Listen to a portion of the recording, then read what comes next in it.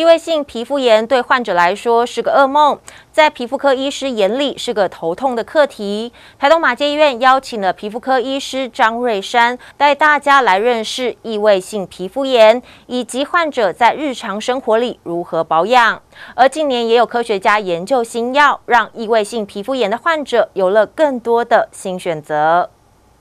痒痒痒抓不停，异位性皮肤炎对于患者来说是个噩梦，在皮肤科医师眼里是个头痛的课题。异位性皮肤炎这样的一个疾病来讲，因为它是皮肤屏障有异常，然后它的免疫系统是过度活化的，所以它在平常的保养上面，我们需要注意几个部分。哈，最重要其实是乳液的保湿。哈，那乳液保湿的话，一天。至少要擦两次，然后要选比较没有香精的乳液，然后要滋润度要够，最好是乳霜，好，甚至油膏都可以。异位性皮肤炎和免疫系统过度活化有很大的关系，而患者大多在婴儿时期就会有发病的征兆。而另外，当患者生活作息不正常、免疫系统不稳定时等因素，就会严重影响睡眠状况，甚至到社交生活。所以，异位性皮肤炎的患者需要长期追踪治疗。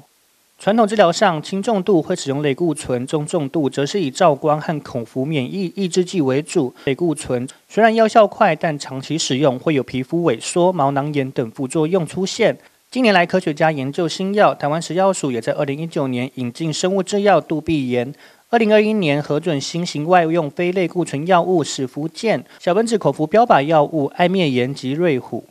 好，那。标靶药物的话目前最新的治疗，哦，那这个治疗它相对的，嗯，治疗效果是目前可以说最好，哦，比生物制剂还来的更更好，大概有七到八成都可以改善七十五趴，那甚至有六成的患者是可以全部清除的，哦，清除它的病灶。不过这个还是要相对注意，它在肝肾功能跟白血球的部分需要做定期的抽血。